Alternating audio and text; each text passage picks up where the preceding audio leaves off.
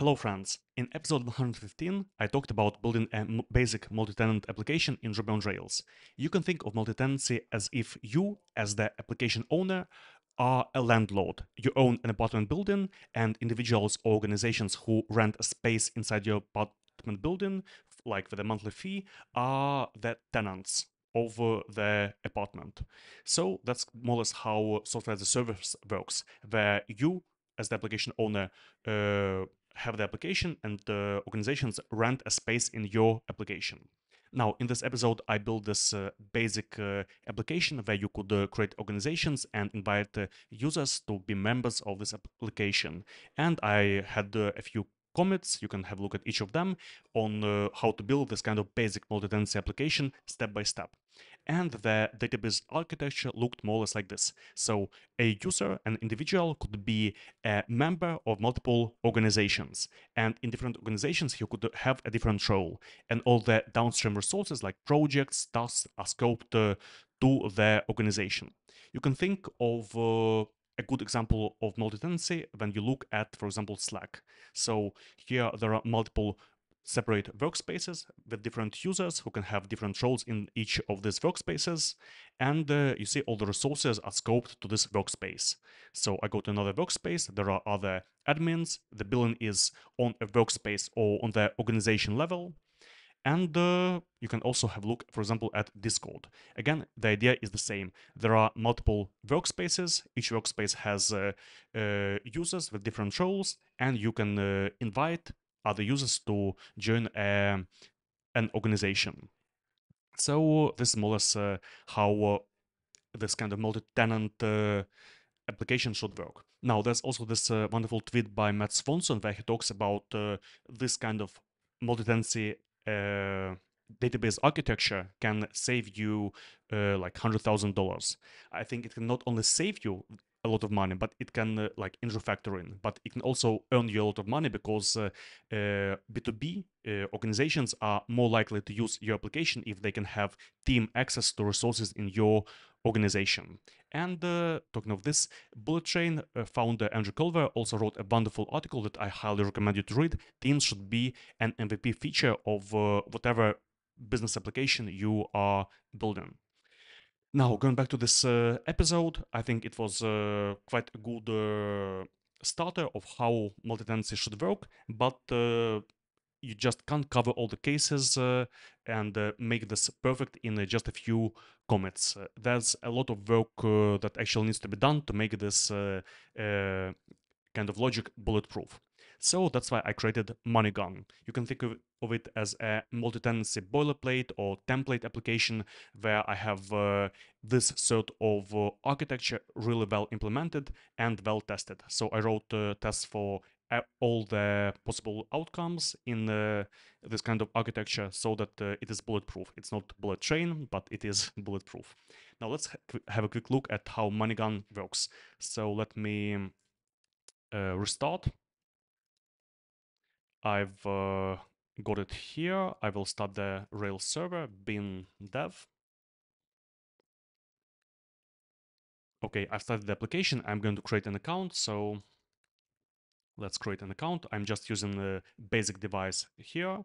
And here I have created an account and I can create a workspace or an organization. Let me create an organization. Let's name it SupeRails. Okay, create organization. So here inside the organization, I've uh, got uh, users or kind of members of this organization, and I've got one scoped resource that is inboxes. So for example, I want to have an inbox uh, where I would let users uh, uh, type which episodes they want me to talk about uh, in my future SupeRails screencasts. which episodes do you want in the future? So I've created this inbox and you see this inbox is scoped to this organization. Now let's uh, try inviting another user to this organization. I will invite somebody. I will invite him as a member, not as an admin. I'll send the invitation. So the invitation has been sent. The user has been added uh, as a member. And let me accept this invitation as the other user. So in my logs, uh, I see that the invitation has been sent. I will uh, copy the link to accept the invitation. I will open it in a new tab, in the private tab. So let's uh, accept the invitation. Okay, and here I'm logged in as this other user. And you see, I am uh, already a member of this organization. I go to the list of users and you see I cannot edit the roles of uh, myself or the other user because I'm just a member. The only thing I can do is leave this uh, organization. Let's go to inboxes. You see, I don't have access to inboxes because by default, only the organization admin can uh, access inboxes. Let's try changing this. I will go to inbox policy I'm using Pundit to handle uh, authorization, uh, uh, role-based authorization to different resources. So at the moment, I say that only admins can, uh, uh, only members who have the admin role can edit the organization or an inbox and view everything. Let's say that any member can view and edit inboxes. Again, I'm going to inboxes now. And you see, I, as a normal member, can uh, have access to inboxes. I can uh, edit this inbox. Okay, looks uh, fine. Now let's uh, try uh, going back to the admin and let's try, let's say, editing my role. I will try to go from being an admin to being a member. And you see, I cannot uh, turn myself into a member because uh, an organization has to have at least uh, one admin because otherwise uh, you won't be able to like uh, change anybody's roles, delete the organization, and so on. So the organization will not be functional if there is no admin. So this is like one small thing that you should think of. An organization should have at least one member uh, admin. Let's make the other member an admin. And now I think we can change our role to member.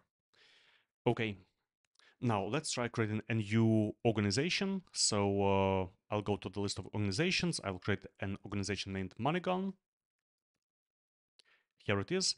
So uh, you see I have two organizations. Here I'm the admin. Here I am just uh, a, a member. All I can do is leave this organization. And you see the inboxes are scoped to the organization. So here organization one has uh, one inbox, organization two doesn't have any inboxes and you as a member of both organizations can have uh, inboxes from both organizations open in two separate tabs. So that's the beautiful thing about uh, uh, route-based uh, setting of current uh, uh, organization that you can have two different organizations open into different tabs. So um, looks fine actually about this switching of organizations. Uh, I really like this kind of sidebar switching. Uh, obviously, it was inspired by Discord and uh, by uh, Slack. And uh, this uh, template application also includes another kind of sidebar that would not have this kind of double sidebar, but just one sidebar. So I have the organization MoneyGun open. I see the dashboard users for it. I can open the dropdown and switch the organization and see the data for that other organization. Okay, let's dive into the code itself. So uh, usually when I look at a new Ruby on Rails application to me, first of all, I look at the Gemfile. Now, everything here is just whatever I have when I create a new Rails uh, uh, 7 or Rails 8 application. I just have installed Tailwind. And uh, here are the unique gems to this application. So I've got Devise, Devise invitable, and Pundit. Now, uh, I think Rails 8 authentication generator isn't ready for production yet, and Devise plus Devise invitable works perfectly for uh, authenticating users and sending invitations to create a new user in the application. Again, I use Pundit for authorizing uh, uh, organization members, organization members, uh, and organization admins to different resources within the organization.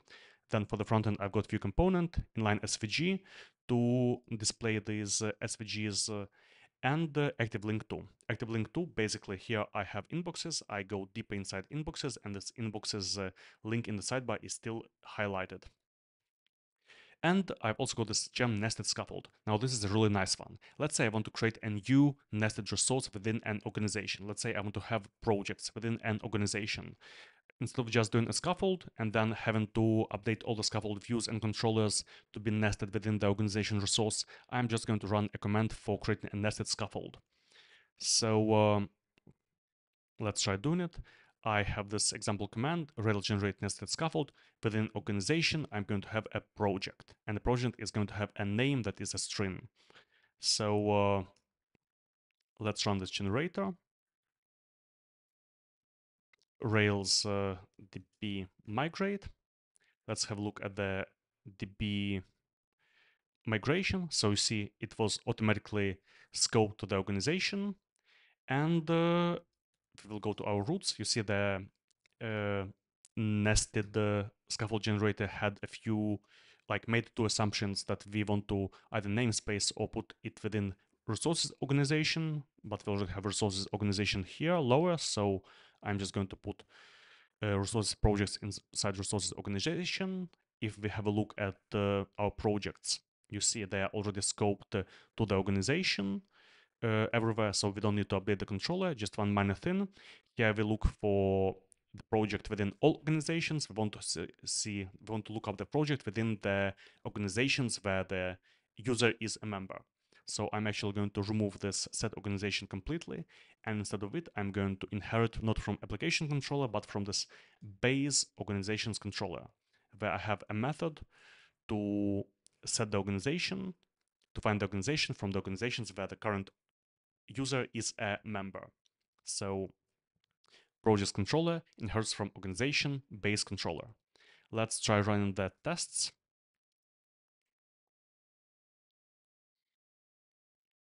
Okay, let's run the migrations, Rails db migrate, Rails test.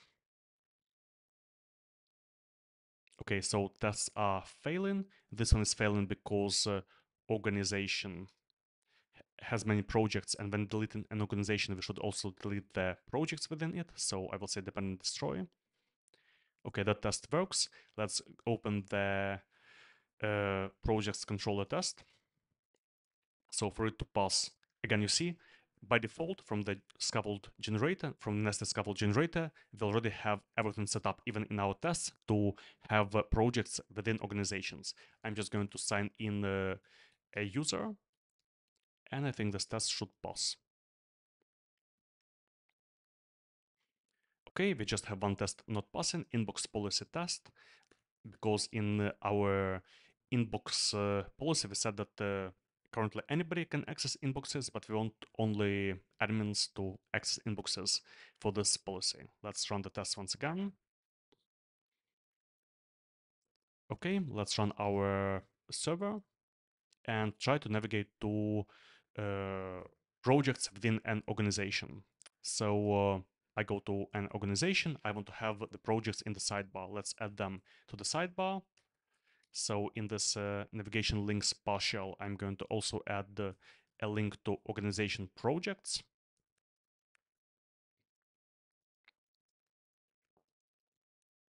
And here we have the projects that are scoped to the current organization. Let's create a new project. Uh, Okay, so here we have a project for SupeRails. I will go to another organization. I go to projects and you see it doesn't have any projects. So projects are scoped within an organization. Looks good. So let's inspect the code a bit more. Uh, so in schema, again, there are quite a lot of migrations for active storage to be able to add an uh, avatar to an uh, organization. Let's have a look at an organization. Here we can add an avatar. We have, uh, again, the most important part. So we've got uh, organizations, we've got users, and the user can be a member of an organization via a membership. And uh, resources like projects are scoped to an organization, and inboxes are also scoped to an uh, organization. In uh, our routes, again, uh, everything that should be scoped to an organization, we also scope it in the routes. This way, we don't lose the logical hierarchy and uh, this kind of uh, multi-tenancy that in the routes works well. Anyway, I'm uh, really happy about this kind of uh, boilerplate, multi-tenancy boilerplate or starter kit, whatever. Uh, it has, I think, quite a good implementation of this kind of organizations, memberships, and users uh, logic. I've written a lot of tests to ensure that uh, it works flawlessly and there are no leaks between data from different uh, organizations and users can't do strange stuff like change uh, another user's roles. I invite you to have a look uh, at the, the code here. Maybe you can start your own application based on uh, this starter kit. Maybe you can integrate the code for organizations and memberships into your application. Uh, in the future, I'm planning to add a couple of more features like uh, being able to accept or decline a membership request to an organization because you can be invited to multiple organizations and not always you want to accept the membership request. And uh, possibly I will add the billing on on on an organization level. And if I add the billing, then it is going to be kind of a real software as a service uh, uh, starter kit application. Anyway, I invite you to have uh, a look at MoneyGun. Tell me what you think about it.